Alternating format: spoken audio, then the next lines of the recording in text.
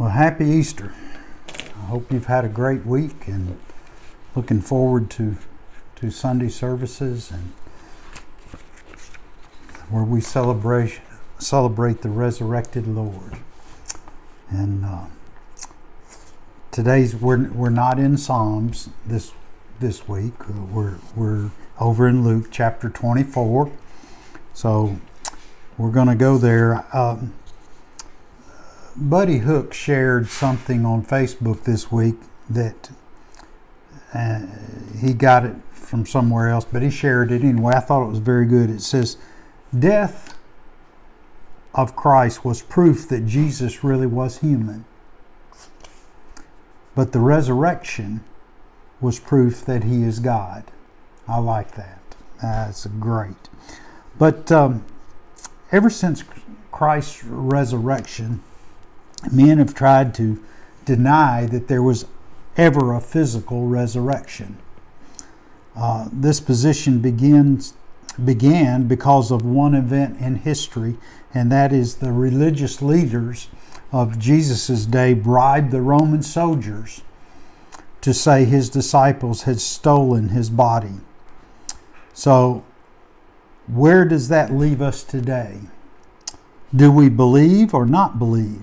In the physical resurrection of the Lord Jesus Christ. Actually, I look back on last year's, my notes from last year's Easter lesson, and Josh, Josh McDowell once said, The resurrection of Jesus Christ is the most wicked, vicious, heartless hoax ever imposed upon the minds of men or it is the most fantastic fact of history. In other words, the truthfulness of Christianity stands or falls on this one particular issue. Did Christ, was Christ resurrected? So, how do we prove that there was a physical resurrection? You know, in our court system today that we have, you have testimony by witnesses um, or by various people. They might testify about circumstantial evidence, you know, some type of evidence that they've tested and tried. But there is a tremendous amount of weight given to someone that testifies that's an eyewitness to an event. So, in those times, we know that the opposition counsel will, their job is to grill and to sandpaper those witnesses that say they have an eyewitness to confirm or show evidence that the eyewitness was actually has actually seen what they purport to have seen. In a court of law, the eyewitness's integrity or motive may be questioned. The Bible tells us that after Christ's resurrection, he was visibly seen by an individual, Mary Magdalene. Jesus appeared before his disciples. And then on another occasion, Jesus was seen by more than 500 followers. So there's quite a few eyewitnesses to Christ. Those eyewitnesses' testimony was accurate and real. There is no doubt in what they saw, it's recorded in history. Jesus truly resurrected from the dead. Well, there are at least two different accounts of Christ's appearance after his resurrection, wherein that his wounds are mentioned his hands and his feet and his side. Have you ever thought about why Christ's resurrected body would still show signs of those wounds? Jesus healed the sick. Jesus calls the blind to see. He made the lame to walk again. He mended broken hearts. He even raised the dead.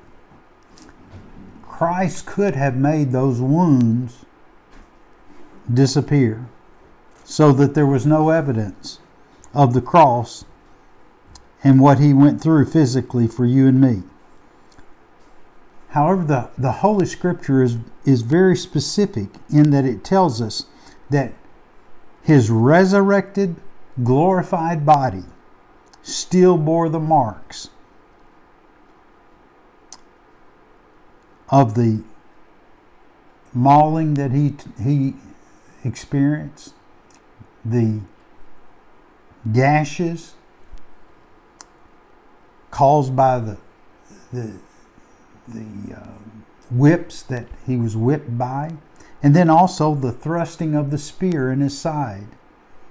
We'll get more into that in a little bit. But we find in, in the 24th chapter of Luke, we're going to start with the 13th verse. And you know this story well. It's about the two disciples that were on the road to Emmaus, and Christ joins them unbeknownst to them. This, of course, was after Christ's resurrection. Um, one of the men was uh, Cleopas. Uh, it doesn't really say who the other one is. So I'm going to read verses 13 through 26, and then we'll jump back and, and talk about some of these verses. Verse 13 says, Now behold, two of them were traveling that same day to the village called Emmaus, which is which was seven miles from Jerusalem. And they talked together of all the things which had happened. So it was, while they were conversed and reasoned, that Jesus himself drew near and went to them. But their eyes were restrained, so they did not know him. He said to them, What kind of conversation is this that you have with one another? So you walk as you walk and are sad. Then the one whose name was uh, Cleopas answered and said to him, Are you the only stranger in Jerusalem? And have you not known the things which happened there these days? And he said to them, What things? So they said to him, The things concerning Jesus of Nazareth, who was a prophet, mighty in deeds and word before God and all the people, and how the chief priests and our rulers delivered him to be condemned to death and crucify him. But we were hoping that he was who we were hoping that it was he who was going to redeem Israel. Indeed, besides all this, today is the third day since these things happened. Yes, and a certain woman of our company who arrived at the term, tomb early astonished us. When they did not find his body, they came saying that he had also seen a vision of angels who said he was alive. And certain of those who were with us went to the tomb and found, just as the woman had said, but him they did not see. And then he said to them, O foolish ones, slow of heart to believe in all that the prophets have spoken? Ought not the Christ to have suffered these things and to enter into his glory? The disciples didn't recognize Jesus when he joined them on the road to Emmaus. However, Jesus certainly recognized the sorrow, the sadness, and he asked them about it. He said, What's going on? Why are you so sad? Why are you talking about these things? And so Cleopas says, Hey man, where have you been? Don't you know what's going on in Jerusalem? Where you been the last week? The, everyone in Jerusalem knew about the crucifixion of Jesus. We see in verse uh, 19 that Jesus continues to play a little ignorant of the events that had trans- transpired, asking what events you're talking about. So they recounted all the event, events that had taken place. and um, they they told Jesus that they thought that Jesus was really the Messiah, the one that was going to deliver them. Uh, yet the the religious leaders had crucified him, and they explained that it had been three days, and that uh, Jesus had been been laid in a tomb, and yet when the women went early that morning to to do the ritual for the body, they found that the, the tomb was empty. Um, the women had come back to them and told them of how the angel had, angels had told them that, that uh, Jesus was alive, that they were to go tell the disciples. Um, you know, these, these two disciples that were going to Emmaus had um, a lot of doubt. They had seen the crucifixion, but they were having difficulty believing that Jesus was alive. Notice what Jesus says to the men, two men in, in verses 25 and 26. He makes a reference to his passion or suffering as well as his glory. Notice that how he puts his, his suffering in the past tense. Ought not Christ to have suffered? In other words, it, it had happened, hadn't it? So, Dr. Vines goes through in our lesson various types of wounds that can be administered to the human uh, human body. Uh, a contusion is a wound inflicted by a blunt instrument. When the soldiers took their fist and beat the face of the Lord Jesus Christ um, until the Bible says he was not even recognizable as a man. Then there's the wounds of penetration made by a sharp instrument. The soldiers placed a crown of thorns on the head of Christ in mockery of Jesus as king. And then we know the wounds of lacerations which are made by tearing instruments such as a whip. Pilate had ordered ordered the, the beating of Christ. You remember that he was to, to have 40 lashes save one because they thought if they lash him the 40th time that he would surely die. So they didn't want him to die. The wounds of uh, perforation are made by a piercing instrument such as a nail in his hands and feet, a wound of incision made by a sharp edged instrument, a spear, into the side of Christ. All five of these types of wounds in Christ's case have been ended. There's no more wounds. Okay? Christ's statement in verse 26 says, Ought not Christ to have suffered? Jesus was saying to those two disciples there, as well as us today, that the miseries of his passion were ended. They're no more after his resurrection. However, there is one way that the sufferings of Christ will continue. Hebrews 2:17 says, "Therefore in all things he had to be made like his brethren, that he might be a merciful and faithful high priest in things pertaining to God, to make propitiation for the sins of, of people. Christ is our, as, as a believer, he's our high priest, which means that Christ is touched with feelings of our infirmities. He's, he understands and knows what ailments and weaknesses that we have. So, what does this mean to you and me today? The implication is, is that Christ Jesus enters into our passion. No matter the pain, the sorrow, or the heartache we endure, the glorified wounds of the Lord Jesus Christ mean that He understands everything we go through. Isaiah 53 5 says, But he was wounded for our transgressions, he was bruised for our iniquities. The chastisement for our peace was upon him, and by his stripes we are healed. There are times that God heals physically. We know that.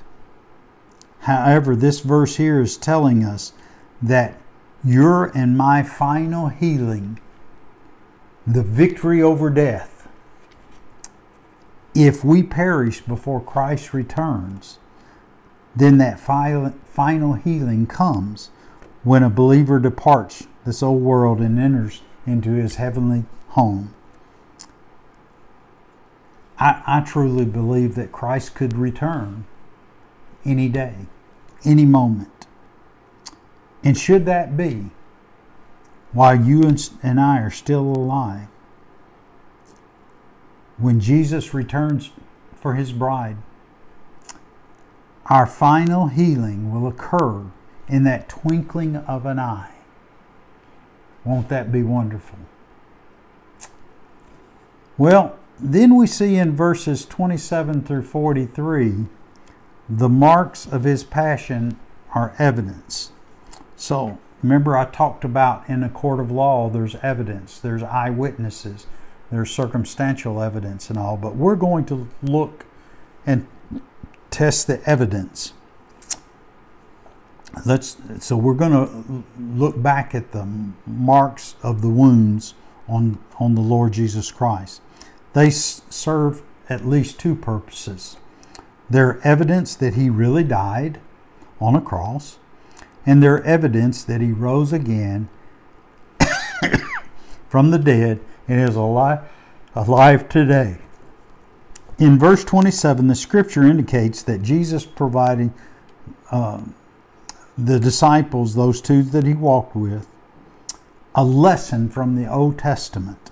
And then in verses 30 and 31, Christ revealed himself to the to the disciples. So let's let's read 27 through 31. It says, "And beginning at Moses and all the prophets, he, being Jesus, expounded on to them in all the uh, scriptures the things concerning himself." Then they drew near to the village where they were going, and he indicated that he would be going further. Further, they they constrained him, saying, "Abide with us, with us, for it is toward evening, and the day is far spent." And he went in to stay with them. Now, verse 30 says, Now it came to pass, as he sat at the table with him, he took the bread, blessed and broke it, and he gave it to them. Verse 31 says, Their eyes were opened and they knew him. They knew it was Christ. And then it says, He vanished from their sight. Can you imagine these two disciples? The, the scripture doesn't say whether or not they were in a group at that prior to this time that they saw Christ. Remember, this is the day that Christ arose. So we don't we don't know if if they had been privy to seeing Christ before this time. But you know that they had to be excited. They were probably a little fearful. Let's let's read on. Verse 32 says, And they said to one another, Did not our heart burn within us while he talked with us on the road and while he opened the scriptures to us? Then verse 33 t- t- tells us about their excitement. It says, So they rose up that very hour. Now remember when Christ broke the bread,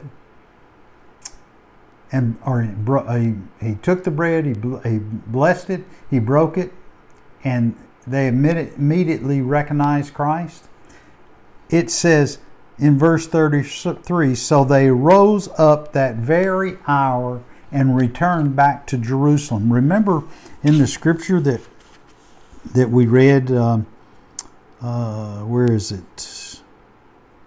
Oh, verse 29. He says, They constrained him, saying, Abide with us, for it is toward evening, and the day is far spent. So it was apparently fairly late in the day. But yet, verse 33 says that they arose up that very hour. I, I think that means immediately. And they returned to, to Jerusalem and found the eleven and those uh, who were with them gathered together. They said to, in verse 34, it says, The Lord is risen indeed, he has appeared to Simon. Now it's questionable who said, The Lord is risen indeed and has appeared to Simon. The commentaries that I looked at seem to agree that these two disciples that had returned from Emmaus uttered these words as confirmation of the stories that, that they had been told from earlier that day. Uh, you know, the, the believers, the disciples ran to the tomb, it was empty. The information had been given by the angel and in the garden there. Nevertheless, here we find in verse 35, they tell everyone that uh, what happened while on the road and how when Christ broke the bread, uh, they realized it was the Christ. You know, I'm sure uh, the 11 disciples were just a little envious of these two disciples. Um, verse 36 tells us as, as soon as the story had been told, Jesus appears in their midst and he says, Peace to you. Verses 35, let me just read them 35 and 36. And they told about the things that had happened on the road and how he was known to them in breaking of bread. Now, as the, they said these things, Jesus stood in the midst of them and said to them, Peace to you. Now, you recall that Peter and, and another disciple raced to the tomb to find it empty. They did not know what to make of it, of course. Now that, that they had gathered together in this secret place in fear of the religious leaders, all of a sudden Jesus appears in their midst. What would your reaction be? I imagine that we would be just as terrified and frightened as those disciples were. They thought they had seen a spirit. That they had seen, you know, they had seen him, they witnessed him die. Yet now they saw him. Let's read 30, 30 verses 37 and 38. Because um, Jesus asked them, Why are you troubled? It says in, in verses 37 and 38. But they were terrified and frightened, and supposed they had seen a spirit. And he said to them, Why are you troubled? And why do doubts rise in your heart? Then we come back to verse 39, where it talks about the wounds on the body of Christ. Take they really take center stage here. The evidence is out in the open for them not only to see, but Jesus tells them to touch him. He was flesh and bones, just like any other man. He was not a ghostly spirit that had returned from the grave to haunt them. Uh, as a skilled attorney would do, Jesus had built the evidence of proof for his case in the fact that he was alive after three days in the grave. They all had witnessed the, the infliction of the wounds upon Christ's body. Now, the body that was before him had those same wounds. Yet, that was not enough to cause them to believe Jesus had risen. Let's look at, at, at verses um, um, well, let me, I didn't read 39 and 40, and then we'll jump to 41. It says, Behold my hands and my feet, that it is I myself. Handle me, see, for a spirit does not have flesh and bones, as you see I have. When he said this, he showed them his hands and his feet. Here's verse 41. But while they still did not believe for joy, they did marvel. He said to them, Have you any food here? So Christ said, Here I am. Here's the wounds on my bodies. They still had difficulty believing, thinking he was a spirit. And he says, Do you have anything to eat here?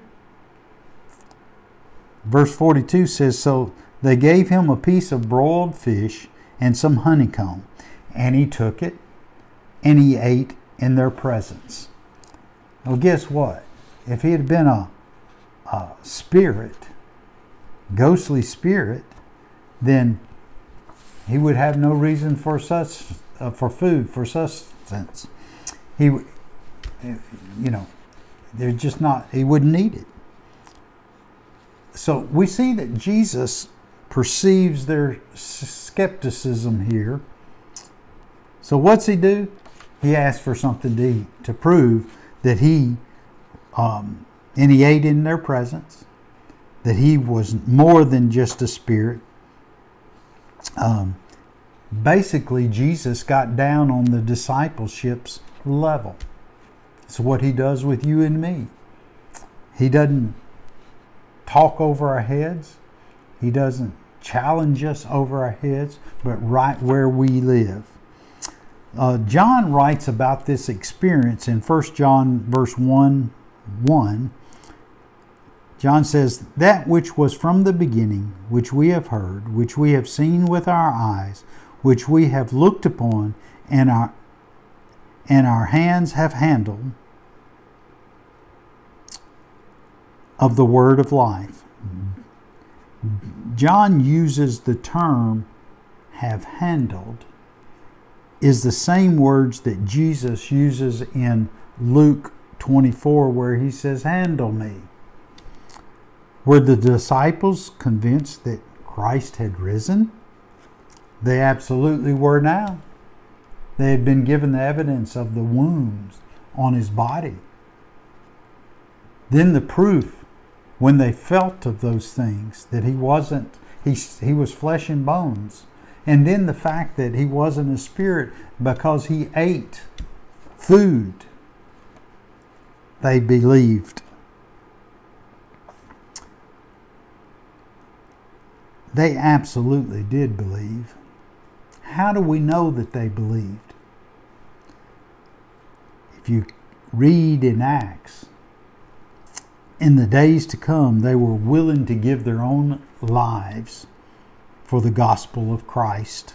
In fact, each one of, uh, with the exception of John, died a martyr's death. Uh, I did a little little research here, and this is supposedly how all the disciples died and Paul is included in this group. Uh, both Peter and Paul were martyred in Rome about 66 AD during the persecution under Emperor Nero. Paul was beheaded. Peter was crucified upside down at his own request, since he did not feel he was worthy to, to die in the same manner as the Lord uh, Andrew uh, went to the land of the man eaters, which is now the Soviet Union. Christians were uh, there claimed he was the first to bring the gospel to their land. He also preached in Asia Minor, modern day Turkey and Greece, where he is said to have been crucified. Thomas was probably most active in the area east of Syria Tradition has him preaching as far as east as India, of, as India, where the ancient uh, Mar Thoma Christians revered him as their founder. They claim that he died there when pierced with the spears of four soldiers. Philip um, possibly had a powerful ministry in Carthage in North Africa and then in Asia Minor, where he converted the wife of a, a Roman proconsul. In retaliation, the proconsul had Philip arrested and cruelly put to death. Matthew, which, who was a tax collector and a writer of one of the Gospels, ministered in Persia and Ethiopia. Ethiopia. Some of the oldest reports say that he was not martyred, while others say he was stabbed to death while in Ethiopia. Ethiopia. Bartholomew had widespread missionaries' travels uh, attributed to him by tradition to India with Thomas, back to Armenia, and also to, also to Ethiopia and South uh, Arabia. There are various accounts of how he met his death as a martyr for the gospel. This, um, James, uh, the son of Alphaeus, is one of the at least three James James is referred to in the New Testament. There are some confusion as to which one is which, but this James is reckoned to have ministered in Syria. The Jewish historian Jehoshaphat, Josephus reported that he was stoned and then clubbed to death. Simon, the Ze- uh, zealot, the story goes he ministered in Persia and was killed after refusing to sacrifice to the sun god. Uh, Matthias, the apostle chosen to replace Judas. Tradition sends him to Syria with Andrew and to death by burning. John, the only apostle generally thought to have died of natural death from old age. He was the leader in the church in Ephesus area and is said to have taken care of Mary, the mother of, of Jesus. Uh, there was persecutions in the mid 90s AD. He was exiled to the island of Patmos, where he is there. He was uh, credited with the writing of the last book of the New Testament, of course, the Revelation. Um, in an early uh, Latin tradition, has him escaping unhurt after being cast into boiling oil at Rome. So we see that these these apostles did believe in the risen Savior and that just as Christ was horribly beaten and then crucified, they they met the same demise in one form or another, except for perhaps John. John was the only one that they say died of old, of natural causes, due to being old. Um, so Jesus' resurrected body was interesting to say the least. There are spiritual aspects to his body. He was able to transcend solid objects such as doors and walls. Over in Acts 1 and in verse 51 of this chapter we're in in Luke, Christ is taken up. He's ascends, he ascends into the heavens. And then there was um, the material aspects of Christ's resurrected body. He ate. That's what, what we just read about. He ate the, the fish and the honeycomb. John 20, 24 tells us that Thomas wasn't present when Christ appeared to the other disciples. When the disciples tell Thomas what happened, Thomas, you know the, what he says. He says, Unless I see his hands and feel the prints of the nails, thrust my hand into his side, um, he wouldn't believe. He Thomas is basically saying, I need some evidence, some proof. So we know what happened. About eight days later, the disciples were gathered together again. Thomas was with them this time. The doors are closed, and Christ appears among them once again. Christ tells Thomas to touch him for the needed proof that Thomas required. Thomas's response was immediate. He said, My Lord and my God. Thomas sees and believes. There was really no need to touch. Then we see in, in verses 29 of John 20, Jesus says to him, Thomas, because you have seen me, you have believed. Blessed are those who have not seen yet have believed. You know, basically, when Jesus addresses Thomas here, he's referring to every believer since the first century to current day. Jesus is referring to you and me. We have not seen Jesus uh, with our physical eyes, yet we believe and we're blessed for that. Then we come to the last two verses of today's lesson, which is verses 50 and 51. Uh, the section is entitled, The Messages of His Passion Are Eternal. Jesus gets ready to return to heaven. So let's look and see what verses 50 and 51 have to say. And he led them out as far as Bethany, and he lifted up his hands and blessed them. Now it came to pass, while he blessed them, that he was parted from them and carried up into heaven.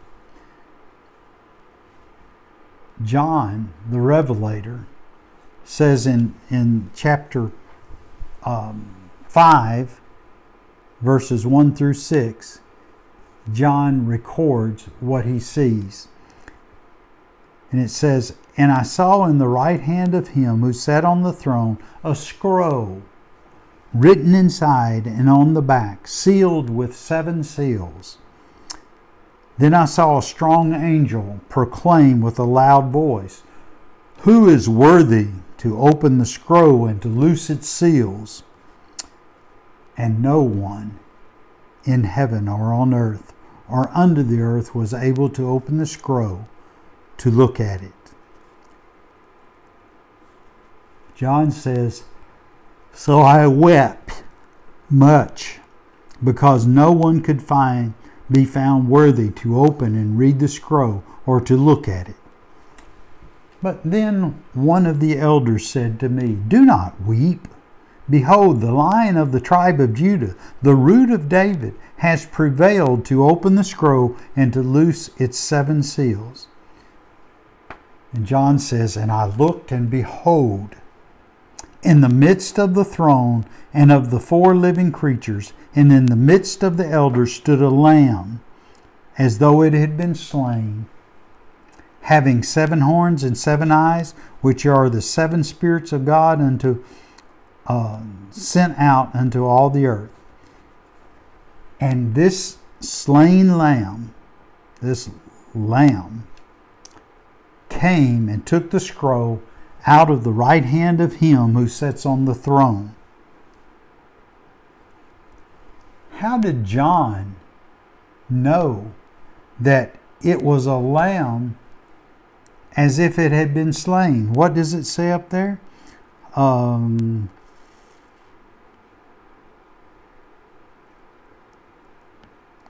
verse 6 it says, And uh, stood a lamb as though it had been slain. How did John know that?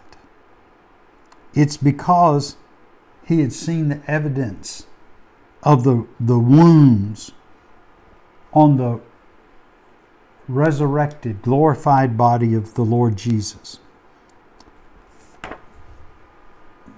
This means that Easter is a message of his eternal work. when we get to heaven, his eternal work will be manifested in his wounds. The Bible tells that when he returned to heaven, he sat down at the right hand of God the Father, and he's praying for you and me. One reason is because the Bible says that Satan is the accuser of the brethren. We can only imagine that Satan, uh, what Satan has to say to God the Father when we sin. But if he does accuse us, Jesus Christ only has to show his wounds and say, I paid the price for those sins. The devil has to flee before the wounds of the work of the Lord Jesus Christ. There's a story that um, Dr. Vines put in the lesson I thought was just really, really super. And, uh, you know, when, when soldiers are wounded in battle in defense of their country, we give, we give them special honor and recognition. That is because the wounds have, uh, have become tokens of honor. There is a story told from, from the Civil War about a man named General John Gordon. After the war was over, he was running for the Senate seat for South Carolina. The legislature had to nominate him, but in that legislature was a soldier who, had, who for some reason, had developed a grudge against the, the general. The soldier decided he was going to embarrass General Gordon by voting against him. As the votes were being taken, this gruntled soldier stood up and cast his ballot. ballot. He looked over and saw a battle scar on the side of General Gordon's face. Instead of casting his vote, as he planned against General Gordon, the soldier sat down and began to weep. Through the tears, he says, I can't do it. I had forgotten the scar. If the soldier's battle scars can evoke such passion, this soldier, this general that fought, if it if that soldier's battle scars can evoke so much passion, how much more should Jesus' scars affect you and me? If it weren't for those scars, we would have no hope of eternal life. That's what it's all about. It's what it's always been about. Because God made a way for us to be reconciled to Him even long before man was even created. Oh, what a Savior He is. I, I tell you, and the Sunday we get to, to celebrate the resurrection of our Lord and Savior. I don't know about you, but that's, that's a special time to me. And I'm just so thankful that we have a loving Savior that is willing, was willing to come as a baby, to grow up and to be crucified in the prime of his life.